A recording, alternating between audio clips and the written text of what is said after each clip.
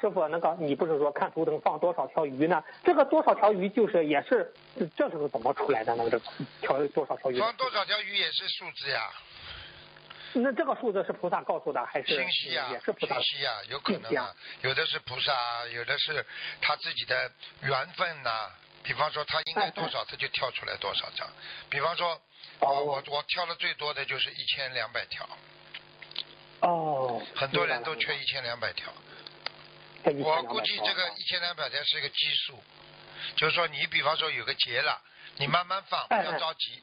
你一放放放到一千两百条，你马上就会转换命运，很多会转换。哦，那师傅，您说这个一千二是个基数，就是同修在遇到劫难的时候，直接许个一千二就行了，那放就可以了。对你打不进电话，你就一千二。啊。那这个一千二再往上呢，是在一个什么样的基数呢？一千八。再往上。一千八了。一千八。嗯。那再往上呢，师傅？再往上你就坚持放就好了。嗯，好的好的。一千二的基数就是说你会改变呀。他主要菩萨说你一千二，你自己会看到你的命运在改变了呀。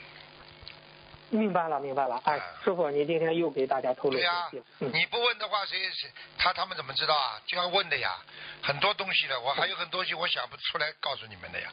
你一问嘛，我就告诉你了呀。哦，明白了，好，谢谢师傅的慈悲开示。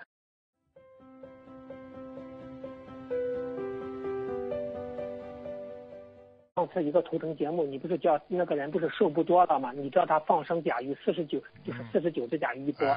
这个请请问师傅，这个四十放甲鱼的时候，四十九只甲鱼一波有什么样的含义吗？就是这个您开始的这个。四十九只甲鱼一波的话，实际上就是一个结束呀。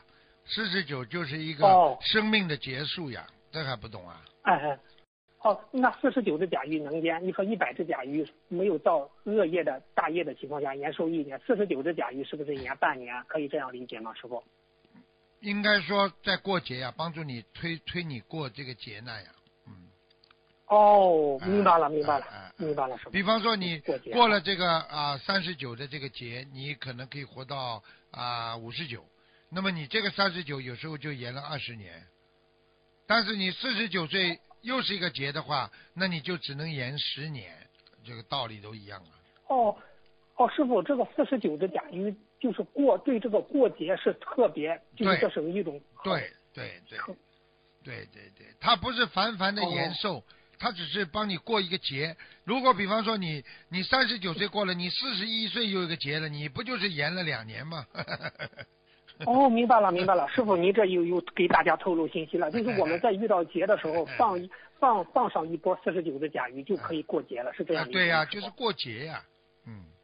那放几波呢，师傅？这个你跟那个同修看的图腾是个案是放两波四十九，那你一般的过节是放几波呢？师傅？一般的，你要是觉得自己命短，生命生命体非常的脆弱，觉得自己活不长，经常有这种想法的话，哼，你不停的晃晃晃。明明白了，明白了，放放放。要经常晃身，要经常的晃，听得懂吗？